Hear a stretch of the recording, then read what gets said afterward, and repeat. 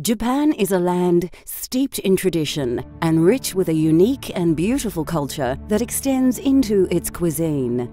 Famous the world over for its simple flavors, cooking techniques, and even raw ingredients, the Japanese have truly taken food beyond flavors and into the realms of artistic expression. Join us as we explore the cultural flavors of Japan.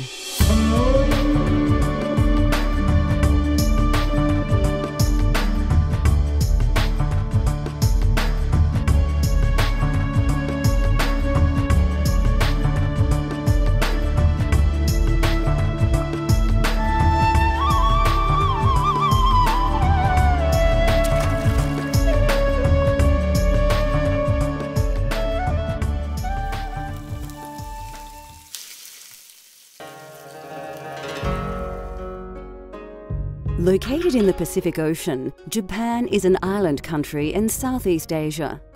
Japan is considered a unique culture as they have resisted outside influences. The art, design, and even the food has distinct qualities only found in Japan.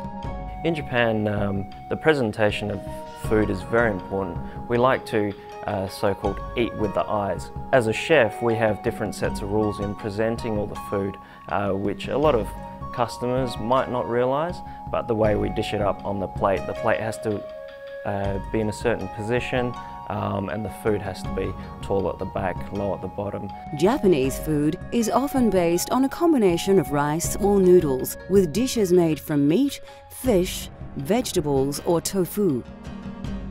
Being an island country, seafood features prominently in the dishes of Japan, especially shellfish, crabs and finfish all over Japan. The vari various flavours of each dish um, is well worth looking into um, and uh, just track from north to south and try the different flavours.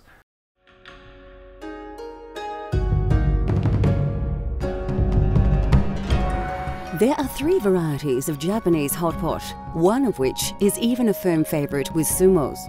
So the um, three main hot pots that we have uh, the chanko nabe, uh, which is what sumo wrestlers commonly eat. Um, it's a throw in anything kind of hot pot in a nice hot uh, clay pot. Um, the sukiyaki hot pot is a very traditional dish. Um, sukiyaki actually means um, to cook in a, a shovel because that's what the farmers used to do. So they'd put in their uh, beef slices and vegetables in a nice sweet soy sauce broth and have that with some rice. Um, the third one, uh, the shabu shabu, is probably the most popular hot pot. Um, it's just a light broth and uh, you put in your, again, thin beef slices and some vegetables and take that onto your uh, sesame dipping sauce or ponzu, which is a citrus dipping sauce.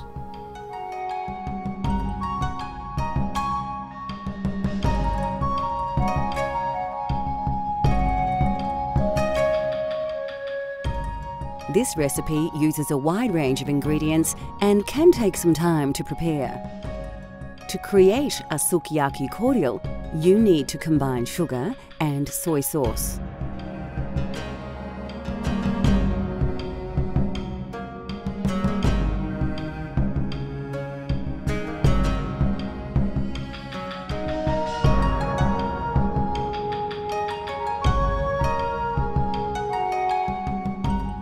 The dish features a number of vegetables as well as silky tofu and a selection of fresh noodles.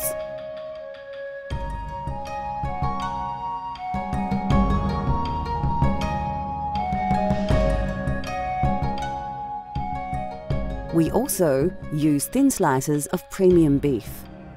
As an accompaniment, you'll need an egg for your dipping sauce and some fragrant rice.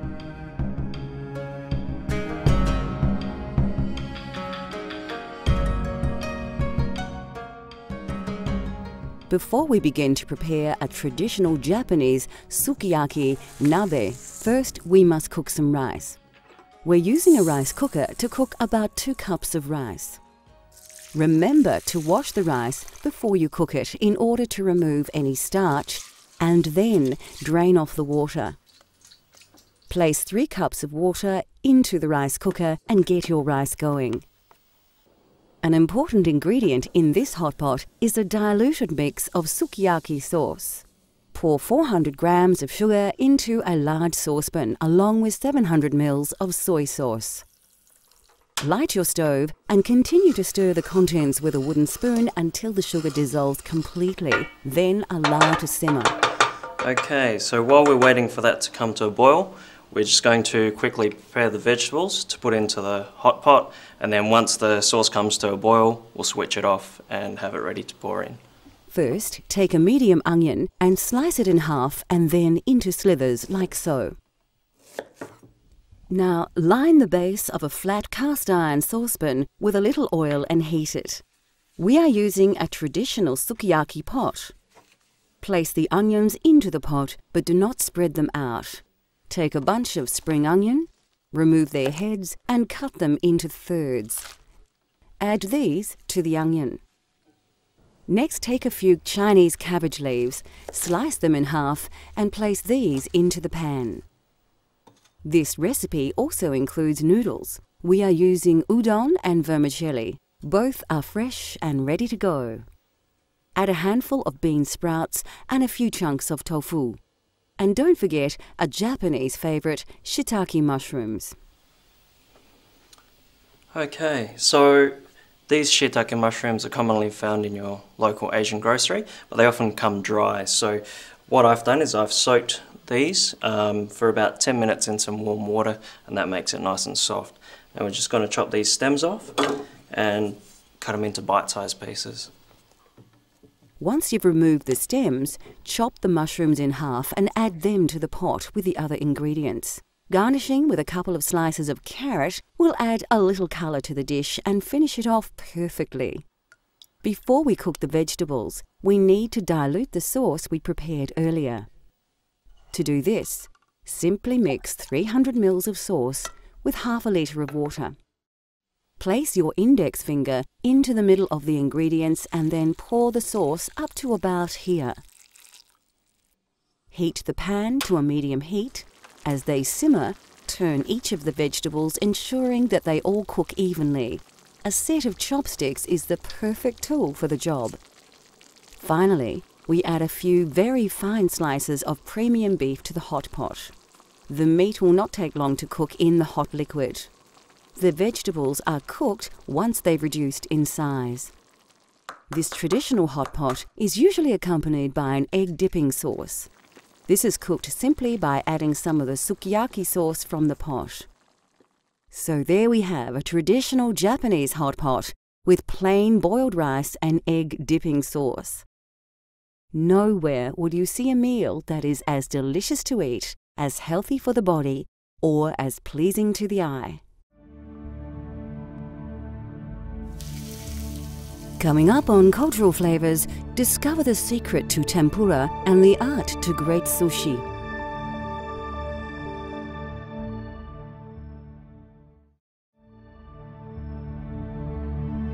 Japanese cooking is often remembered for its unique meat and fish preparations, but vegetables are a large part of the local cuisine.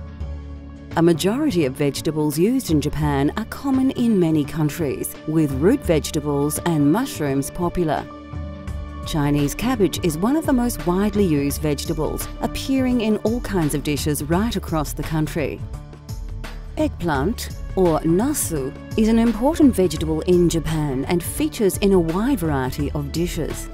A popular dish is for the eggplant to be halved and baked under a layer of miso paste. Eggplant is also used in soups, stir fries, and often has sugar added to it during cooking. Japanese mustard spinach, or komatsuna, is similar to spinach and is well known for its health benefits in Japan. It is eaten raw in salads, boiled in soups, or added to curries. Japanese mustard spinach is also pickled in some regions. The goya, or bitter melon, is famous in Okinawan cuisine and a key ingredient in goya champuru, Okinawa's signature dish, a stir fry with goya, tofu, and eggs. Like its name, the flavor of the goya is extremely bitter and is recognized as the most acerbic of all melons. Mushrooms, or kinoko, are a large part of the Japanese diet. Enoki mushrooms are grown in tight bunches and are often added to stews and soups. Japanese mushrooms have become known the world over for their unique flavour and are available fresh, dried, or even canned in most countries.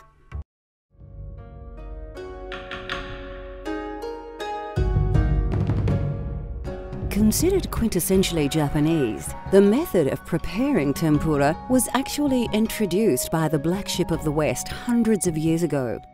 Tempura um, is basically any vegetables, um, seafood, uh, e even different types of meat. Um, it's lightly battered in uh, tempura flour um, and then shallow fried. Um, a lot of people think that tempura is very uh, traditional Japanese, but it's actually um, was brought in by the Portuguese when the black ships arrived um, a few hundred years ago, and uh, it's, it's commonly um, not known as being a Portuguese word, but tempura means to fry.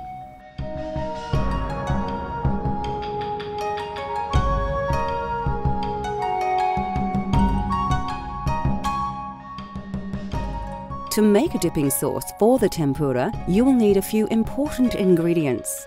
Mirin, a sweet cooking sake, grated ginger, and daikon or white radish.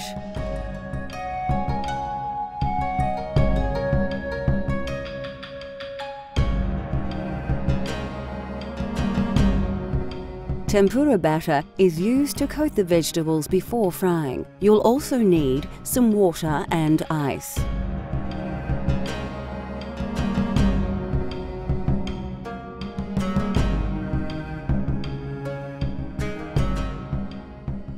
We'll tempura a range of seasonal vegetables, including beans, capsicum, carrots, and onions.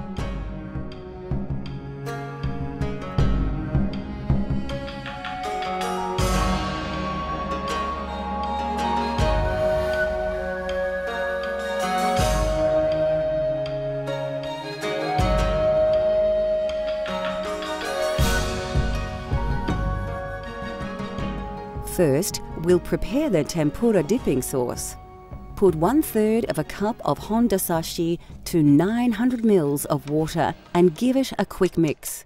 Pour this solution into a saucepan and then add 200 ml each of soy sauce and mirin. Bring to a simmer.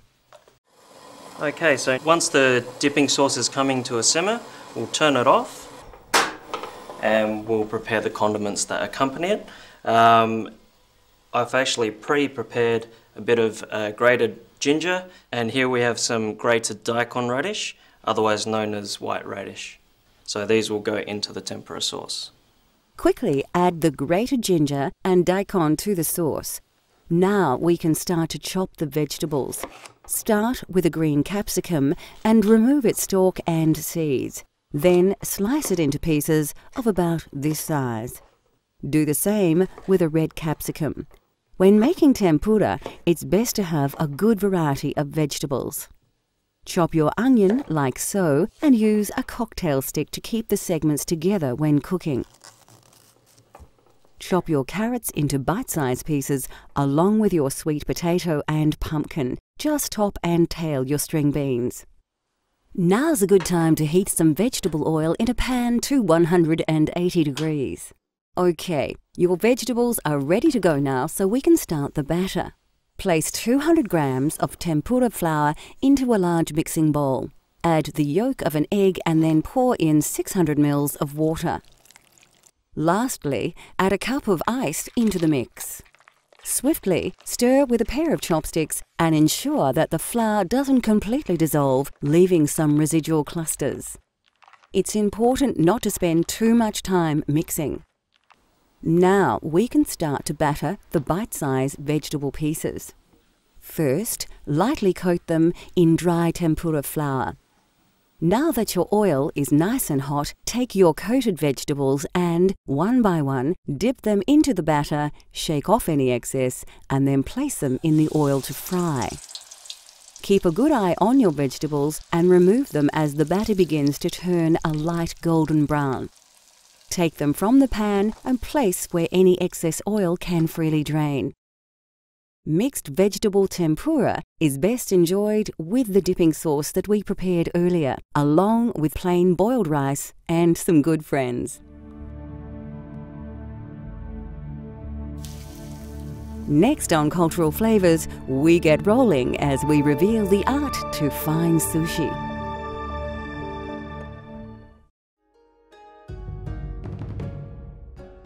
No other dish is more synonymous with Japan than that of sushi, and it has become one of the country's greatest exports to the world.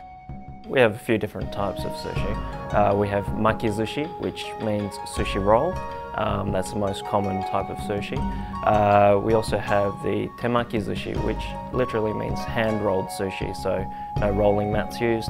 Um, you just have a piece of seaweed and put in anything you like and roll it into a cone shape.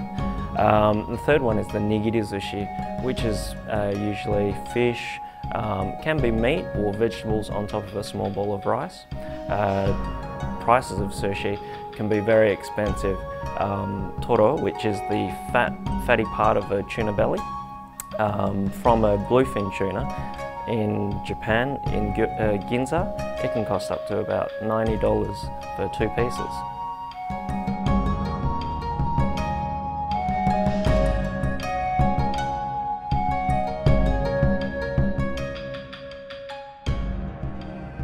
Today, we're going to show you how to make a sushi selection. We're using a variety of fillers such as fresh vegetables and fruit. Of course, seafood is a major component of many sushi dishes and in addition to a fresh salmon fillet, we will use tobiko, which is the roe from a flying fish and crab sticks.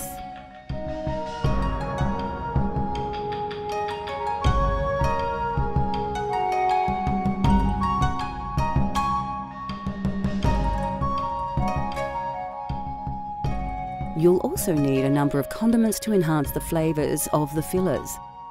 Essentials are Japanese mayonnaise, sesame seeds and, of course, wasabi. To create authentic sushi rice, you will need a number of ingredients just to produce sushi vinegar.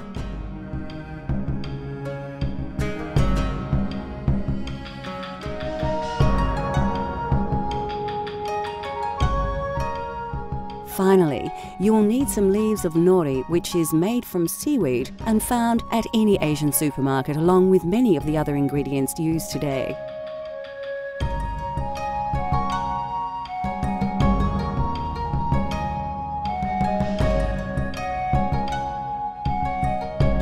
First, pre-cook about 5 cups of a short-grained rice.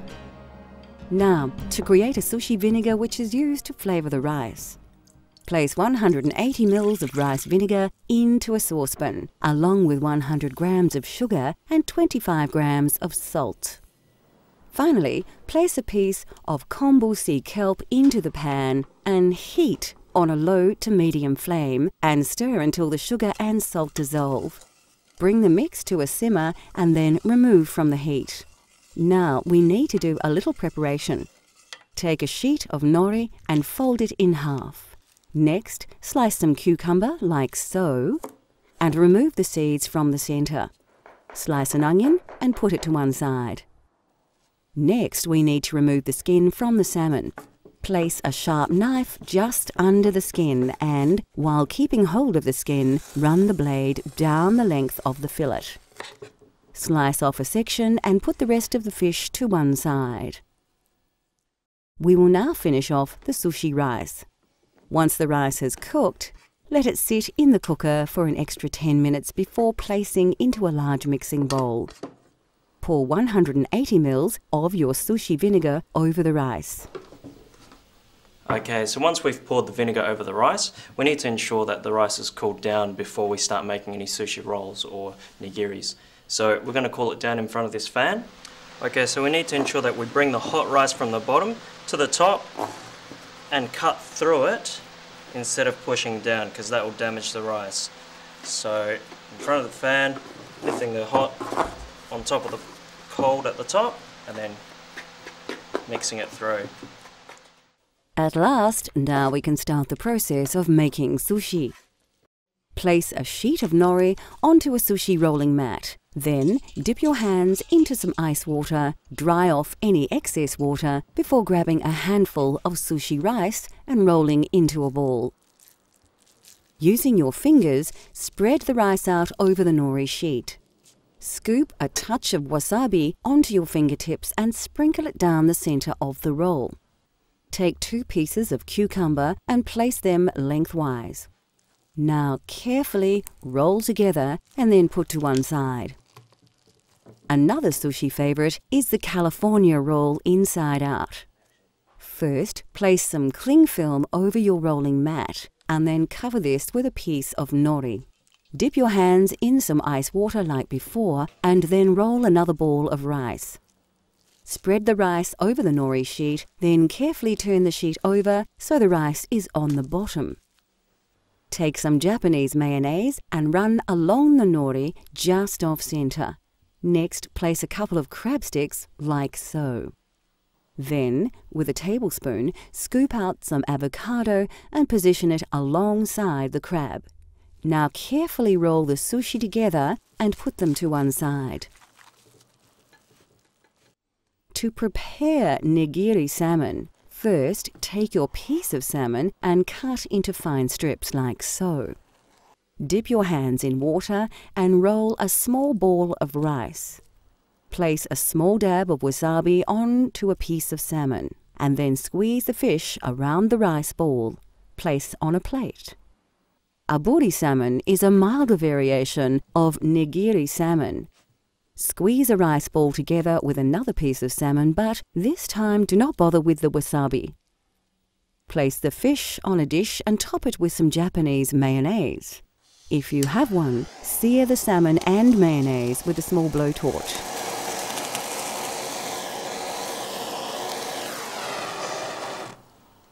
Finally, garnish with a pinch of chopped Spanish onion. Now we can finish the California and cucumber rolls. Place the inside out roll onto a chopping board and cut it in half with a sharp knife. Then carefully remove the cling film from both halves. Roll one half into a tub of fish eggs. Roll the other half in a tub of sesame seeds. Then place them back to back on the board and cut them into equal pieces. To finish the cucumber roll, place it onto your chopping board Chop it in half and then into three equal pieces as before. Serve your sushi with wasabi and pickled ginger garnish. Now there you have it, a simple step-by-step -step guide to sushi rolls and nigiri salmon. Now all you need to do to make delicious sushi at home is practice. The food of Japan is cultured and considered, combining wonderful presentation with simple but delicious flavours. Elements of Japanese food culture are appearing in Western cuisine more and more as the West embraces not only the flavours of this amazing country, but the health benefits of the traditional Japanese diet, rich in fish, vegetables, and fresh produce. Cultural Flavours continues to explore the world through the diversity of food. From Sudan to Singapore, Italy to India, let Cultural Flavours take you on a gastronomic journey so you can experience the tastes of the globe at home.